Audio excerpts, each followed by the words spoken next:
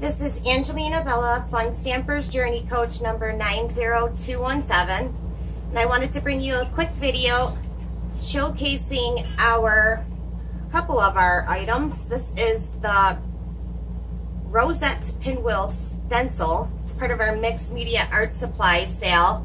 20% um, off all our Mixed Media Arts. And I wanted to do a background for you here's what it looks like. I, I used some texture paste, some Journey texture paste, and I mixed it with the um, Journey Silk Sparkle. I can't seem to find my bottle of sparkle right now because my craft room is such a mess and I can't find it anywhere. So I did mix it up right here, you can see. And so I could get some sparkle in there. And this one I used our new one of our new liquid colors, Rustic Rose. And that's this one right here. And this one I mixed the rustic rose and the turbo teal to make kind of like this purplish violet color. So what I'm going to do in my video today is show you how to do this with the turbo teal. So let me see if my camera is showing. Yes, it's showing everything here. so what you're going to do is you're going to take the already mixed text Journey texture paste with the sparkle in it. And you're going to put a teeny tiny little drop. You don't need to use a lot of color for this. So you don't want to waste it. And then you're going to mix it up like so. This is, like I said, the Turbo Teal liquid color mixed with our texture paste. And this is super easy, super fun. You can make card panels with it. You can use it on canvases, in your art journal, anything like that. So mix it up really good so you get the color that you're happy with. and now this is a big, like I said, this is the Rosette Pinwheel stencil. It's a pretty big stencil. And you're going to pick a place on your stencil where you want the design to show.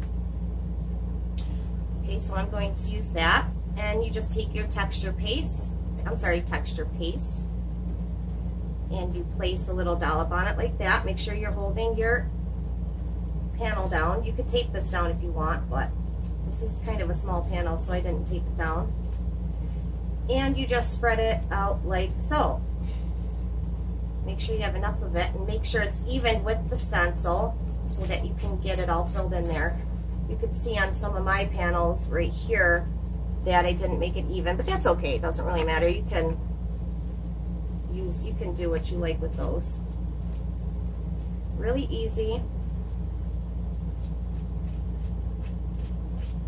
Just scrape off all the excess. I love how that turbo teal color is. It's got like sparkle in it as well. Also want to make sure that you shake it up really good before you use it. And that's pretty much it. Then you are going to release the stencil. You want to wash the stencil off just like soapy water or even water or some of our um, you know journey stamp cleaner will clean this off really well. You want to do that right away or else it's going to stick onto your stencil and not be very nice for the next time.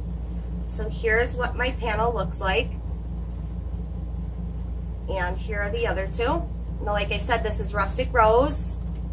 It's our liquid color Rustic Rose. Turbo Teal. You want to let that dry. Turbo Teal. And this one right here is both Rustic Rose and Turbo Teal colors, liquid colors, mixed together. So thank you for joining me today for this quick tip on how to use our stencils with our Journey Texture Paste, Journey Liquid Colors, and Journey Silk Sparkle.